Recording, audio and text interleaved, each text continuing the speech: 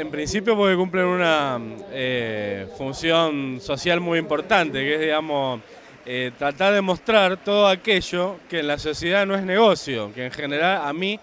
es lo que más me interesa. Actualmente hay una política que tal vez está expresada en los MICA, eh, los mercados de industrias culturales, que tratan, digamos, de pensar el hecho cultural solamente en los marcos de, la producción de una mercancía eh, que se venda en un mercado, ¿no? Y de generar, digamos, eh, polos de desarrollo industrial, es lo mismo en el cine, es lo mismo en, las canales de televisión, etcétera. Y la gente, que como ustedes y otros compañeros, eh, hacen esto simplemente por militancia, por convicción política y por la idea, digamos, de llevar la voz de, los que no tienen voz a todo el mundo, un poco lo que decía en su momento eh, un héroe popular como Rodolfo Walsh, que parece tan sencillo que estos lo toman tanto como bandera y lo ponen en la foto y reivindican los 70 y qué sé yo, pero a la hora de los bifes hablan de mercado, de industrias culturales, o sea, y todo esto lo dejan afuera. Y encima en la ley, que creo que tiene algunos aspectos muy interesantes, el famoso 33% de fines sin fines de lucro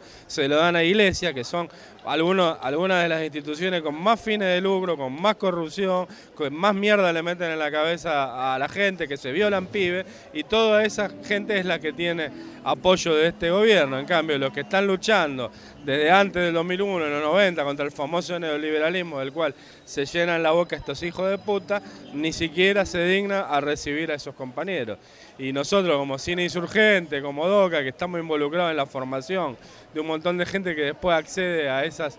eh, experiencias, bueno, no podemos menos que venir, movilizarnos y plantear que hay que seguir viniendo, que hay que eh, subir la apuesta, hay que rodearse de sectores populares y llegado el momento eh, pasar a acciones más, más, fuertes, quedarse acá, meterse adentro, no dejarlos laburar, seguirlos hasta que esto lo, lo entreguen porque bueno, es un derecho del pueblo, ¿no? Y acá está el pueblo y acá claramente hay sectores que merecen por su trayectoria y por su compromiso, tener una licencia, ser legales y poder, digamos, incluso a partir de eso mejorar sus equipamientos, mejorar todo, que hoy día están en una situación endeble, eh, sin legislación y sin saber qué va a pasar el día de mañana. Capaz que el, después de Clarín van por los, por los comunitarios, es muy probable que, que suceda eso, ¿no? Tengan en cuenta que Estamos con una presidenta que tiene 80 millones de patrimonio y ayer dijo que era de clase media, así que acá la mentira eh, es, digamos, eh, algo de todos los días, ¿no? Y se ponen la camiseta anticlarín, pero ni hablan de Vila, ni hablan de Manzano, ni hablan de otros monopolios porque son de ellos, son ligados a ellos o transan con ellos de alguna manera las pautas oficiales a cambio de no tirarles no tirarles mierda. Para mí, Vila y Manzano son igual de perniciosos que eh, eh, el, hijo de puta este de Clarín o cualquier otro eh, dueño de grandes medios. Nosotros estamos en contra de que esto se considere una industria, de que esto se considere un mercado. Esto es comunicación popular y si dicen que la ley es popular, tienen que ser consecuentes. Y si no, el pueblo tiene que hacerlo cumplir. Yo creo que acá hay, este, este, para, para partir de un marco de que hay una pelea entre los de arriba, ¿no? Donde el, pueblo en esa pelea no tiene... Si, intervenimos este, pensando que tenemos cosas para ganar, creo que es un error, este, porque eso nos lleva a, hacer, el juego uno a otro y, a confundirnos en que hay que pelear por la democratización, es que toda la, la población tenga acceso a la palabra masiva, pública. Bueno, eso no quiere decir que, cuando se pelean lo de arriba siempre dejan algunas endijas y resquicios, que ahí sí, sin entrar en el juego de ellos, tenemos derecho a decirle al gobierno, usted dijo que, estaba democratizando, nosotros creemos que eso, esto no democratiza. Ahora, si para ustedes este, eh, en la pelea con otro poder dijeron que el 33% de las organizaciones sin fines de lucro, comunitarias, populares, este, íbamos a tener posibilidades de acceder a, los medios masivos, cumplan